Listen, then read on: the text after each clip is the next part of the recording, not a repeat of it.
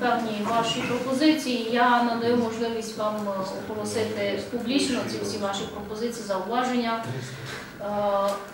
У мене таке питання, оскільки я не знаю на сьогоднішній день. Е, Малий прикордонний рух із Румунією, чи є він? Тому що в Ужгороді ми маємо словацький, ми маємо І, і скажіть, наскільки це впливає на туристичні відносини? Е, На туристичні відносини це впливає, що ми можемо із е, тими громадянами, які ж там проживають, організовувати просто автобуси і їхати відпочивати на ту сторону. так само, тільки В межах 50 кілометрів, так. І яка територія? От мене, мене дуже цікавить іменно Біла церква, ну ясне діло, вона виходить по Солотвину і вверх. Е, Чи входить у цю територію весь Рахівський район? Там поки що е, є зараз 30 кілометрова смуга. Однак поки що угода не підписана. Румунська сторона запропонувала експертам, українській стороні, експертам МЗС е, наступного року.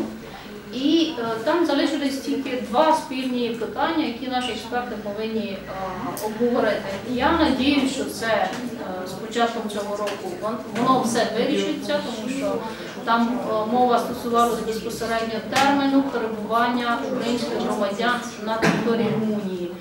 Українська сторона мала свою точку зору, на- наші експерти румуни вони мали свою точку зору і поки що не зійшлися. А зараз вже є там е, безпосередньо е, точка зору е, громадянина Угорщини, який подав в суд Угорщину ЄС за ці всі терміни перебування. Це вже прецедент, який може безпосередньо включатись ці угоди, і е, це відповідає якраз точки зору. Румунії. А йде мова тільки про 30 кілометрів, бо в Угорщині у нас є 50 кілометрів. 30, поки що 30. Але угода не підписана, вона ще Ви не поки що- можете подати, скажімо, пропозицію збільшити кілометраж, ну хоча б до 50 кілометрів, які На ці, е.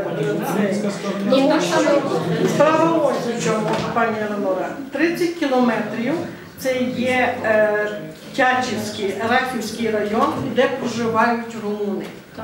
Вони і так їздять, бо вони мають майже всі паспорта е, іноземного румуна, чи як він називається, вони і так всі їздять. І їм, по суті, цього не потрібно. А це потрібно іменно українському населенню. Тому що ми в такому випадку- можемо зробити дійсно дуже хороші тури по цьому. Наші люди самі не поїдуть. Якщо ми зорганізуємо автобус, дамо екскурсовода, там домовимося, вони поїдуть.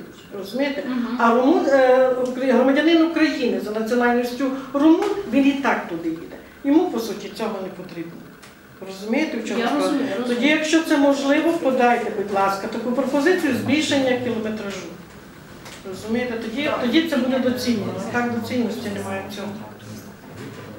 Ясно, я, я зрозуміла вашу позицію і е, я надію, що угода буде підписана вже якомога швидше. І тоді Ще це можна буде- я додам, скажімо так, навіть той район. Маємо Дубове, воно, воно війде. Маємо Тересва, там майже всі румуни живуть. Другому вже не тільки українці. Є, є там і румунські села. Немає. Діброва, дивіться, це Діброва, є румунські села. А от оці далі кілометраж це є е, українці. Вони в'їхали.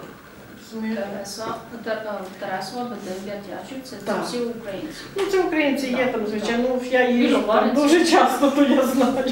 Так. Там е, 12 посадків є, е, де проживають румуни. Так, так. Звісно, я зрозуміла вашу позицію. І ще раз публічно вам вдячна за вашу присутність і надіюсь, що це буде хороший початок для нашої Я теж Е, так думаю, бо я давно